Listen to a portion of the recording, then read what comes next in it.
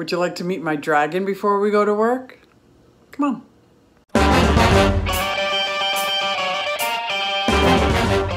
Hi everybody, Susie Q here, QueAquatics, and today we're headed to my work. I have two little nano takes I wanted to show off and get your opinion on something. Oh, I almost forgot. Her name is Sheila. No, I'm not going to do a video on her yet. I just wanted you to see her. Oh. so even though I am in front of a 40 breeder, it's not the normal 40 breeder for Susie Q, is it?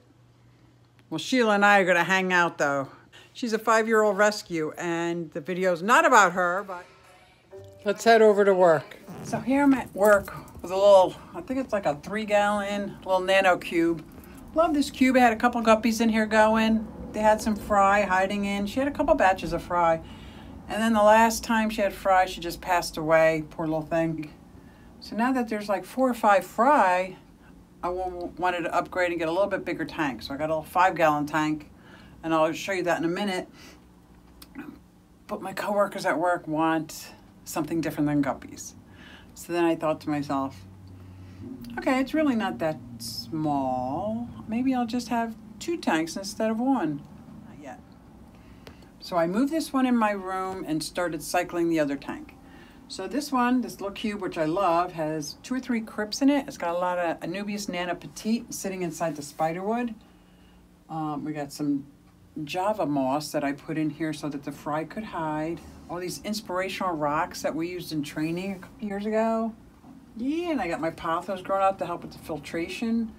I do manual water changes. I did a whole video on it um, yesterday.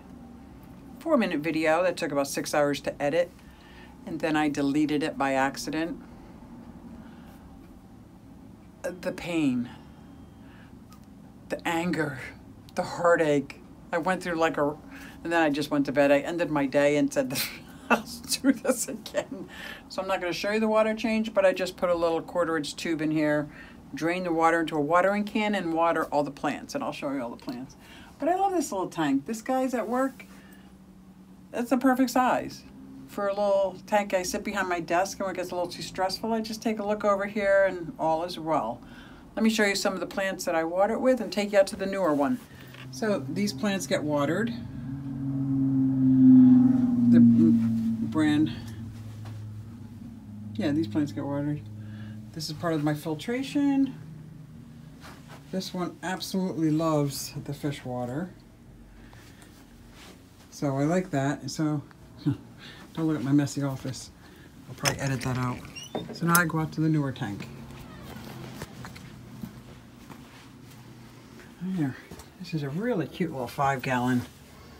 I got some Java fern in here. I put some plastic plants while this is growing. A sword plant right in the middle that I hope takes off.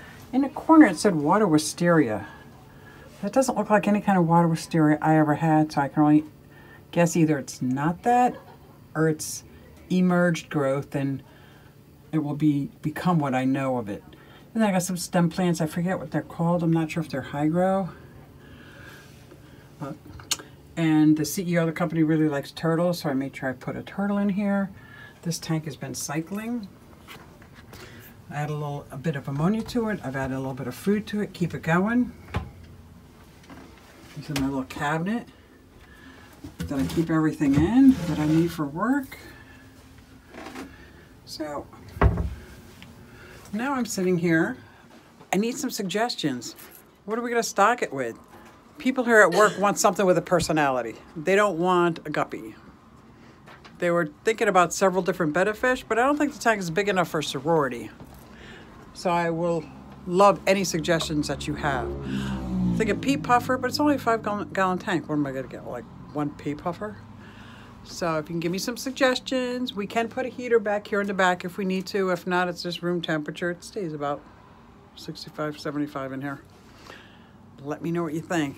Thanks, guys.